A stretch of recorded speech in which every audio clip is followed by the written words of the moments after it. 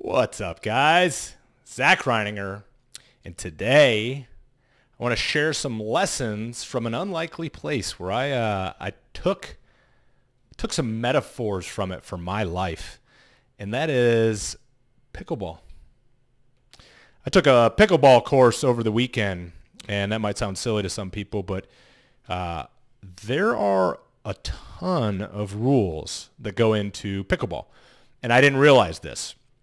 Uh, I figured it was kind of like tennis. Eh, not really. Um, the more I learned about it, the more I was like, I need to learn more about it. And our gym here offers a free pickleball course, Intro to Pickleball, where they're going to teach you all the rules and all the things. And there's so many different little facets of like why you're going here and who's here and your partners and teams and this and that. And it's uh, it, felt at times it felt very overwhelming to me while I'm uh, learning this there. And I know that just like anything else, repetition is king, right? Just like sales training, just like learning a product, learning how to talk to customers. The more you do it, the more you practice, the easier it gets, obviously. Well, there was a, a few nuggets while I was there and I wanted to share them. I, I, thought of it when it was happening. I was like, God, that's good stuff. I really like that. It, it kind of felt like a meta, like she was speaking to me. And the teacher was very excited about it. She's very passionate about teaching pickleball which if you don't know what pickleball is, by the way, it's like the fastest growing sport in the in the country. It's like a smaller version of tennis, kind of also like foosball or ta- I'm sorry, uh, table tennis. You know, ping pong. Uh, uses like a little wiffle ball with these smaller bats or I guess rackets, and it's a smaller space, so you could put like three or four pickleball courts on a basketball court. Um, it's a really popular sport, but she was really excited about teaching us all about pickleball which that was one of my first indications, right? As a good reminder for me, just like what we do.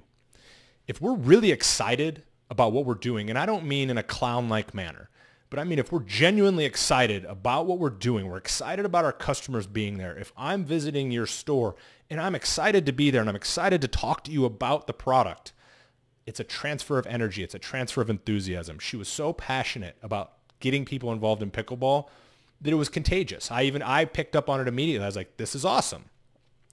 And there were many things in there that struck me.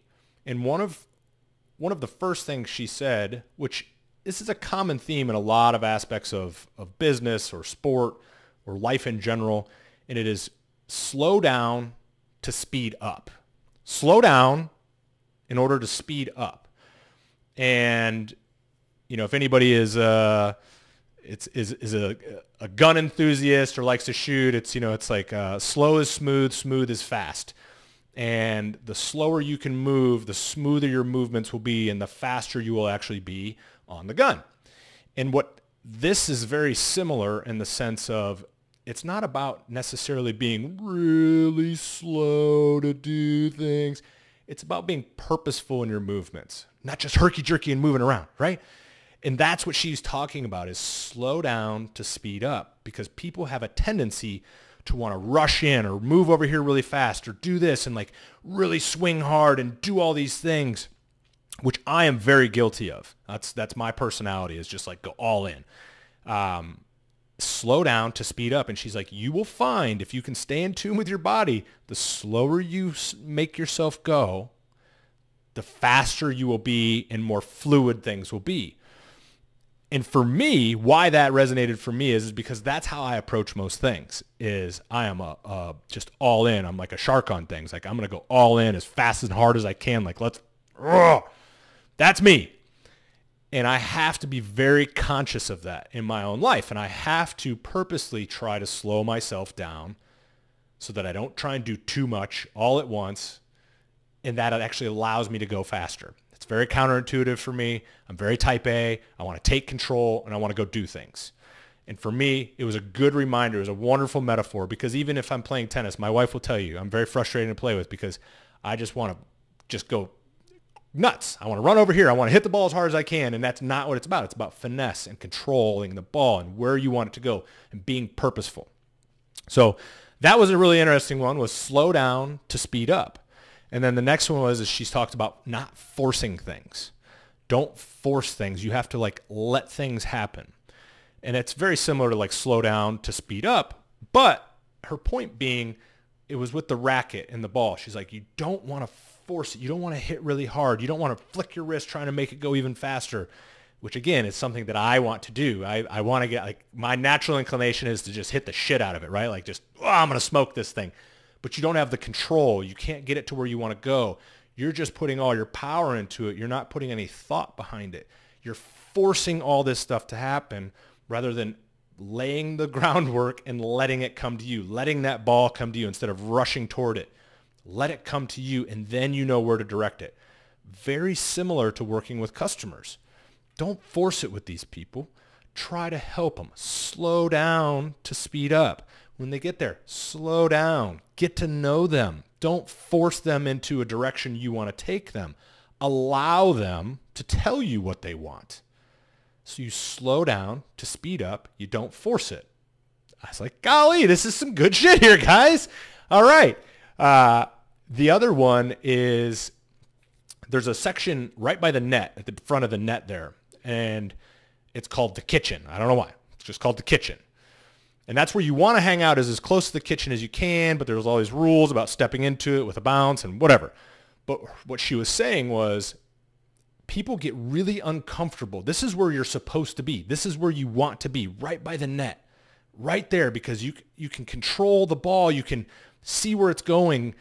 She said, but it's really uncomfortable and people naturally gravitate to pulling back because they want to see, they want more distance so they can see better and feel like they're in more control.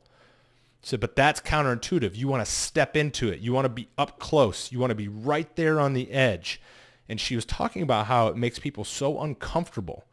And she said, you will see people who will un- unconsciously, so subconsciously, will continue to walk their way back because of the discomfort that's right there at the kitchen.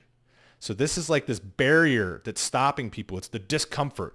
It's being so close and things happening so quickly that they get uncomfortable and they pull back. And you might say, well, isn't that a form of slowing down to speed up? Not necessarily. It's leaning into the discomfort. It's being ready. And as she just, as she broke it down, being closer right there at the barrier actually makes you faster makes you be able to react and do what you need to do with that ball. So the other thing that she talked about is people have a tendency to do too much, which makes it much harder. It's this too much running around. It's too much uh, like this whole like jumpy attitude of like, oh, I'm going to run all the way over here or run. And they want to do a backhand this way when in rea- then they left all this space behind them wide open for their competitor to hit that ball back in because they're standing at the kitchen. So while we're all scattered around running and doing all these different things and focused on this, that, and the other, we're not focused on anything. We're actually so distracted and so spread thin that we're not able to stand right in the kitchen, slow down, and focus in order to speed up. And I took so much out of this class beyond uh, a level of frustration, you know, of like all the rules and, and all that. But I took so much out of this class that I did not expect to. It's just a pickleball class. But so many things she was saying, I felt like she was speaking to me of reminders that I needed. I needed to slow down a little bit to go faster. I needed to focus more in order to go further. I needed to be able to continue to step into that kitchen, you know, the discomfort. Keep pushing into that and stop trying to force things. You have to allow it. You have to do the work to allow those things to happen and then guide them the direction you want and this might be a very like uh, I don't know if the words like esoteric or philosophical conversation around a sport, but I mean it when I say it. that was what I took out of this. I took so much more out of this, and it was a wonderful reminder for me of just like the parallels to life. And I kept talking to this one guy that was there. I was like, "Am I the only one that feels like there's the, all these metaphors for life that keep coming out in this?" And it was a beautiful thing, man. It was uh, it's it's a reminder of how sports and teams and teamwork and working together and all these different things can apply to our lives. It was also a reminder to me of how good it is for me to do things that are uncomfortable. I remember when I walked in that class, I was, I was immediately saying like, I don't want to do this. This, this is stupid. Like, what am I doing? I'm 40, almost 41 years old. Like, I don't need to learn how to play this. My ego was chirping, right? But it took that class to kind of slow me down so that I could learn and it reminded me of so many things that I need. It's that inner voice and all these things that I do. I know we all do them, but I only know mine. And he's a loud, loud, loud, loud dude in there. And it was an awesome reminder. So uh, as soon as I got out of there, I immediately thought of this. I made some notes on it. Because like I've said before, when things impact me or impact my life, I try to make a note because I want to share it. Maybe there's a little nugget in here that you could get out of it. The whole slowing down to go faster. You know, don't force things. Work with the team and communicate with your team. Lean into that kitchen. Get into that discomfort zone. Those things all are going to let us go further together. So that's my reminder for the week. That was what I came away with. Maybe there's more lessons in pickleball other than being humbled, uh, which I was soundly humbled by. Um, I would I would venture to say an elderly man um, with two bad knees, with knee wraps, elbow wraps. Uh, he was a whopping five foot three, guessing 79, 80 years old. And it was so awesome to see where I'm trying to run all over and do all this, and he is embodying all these things. He's, he's too immobile to really chase it down and do it. So he's allowing things to come to him. He's not for, he doesn't have the, the dexterity and the strength to smoke it. And he was able to outplay me handily because of it. And when you would look at him, you'd be like, oh, it's game on.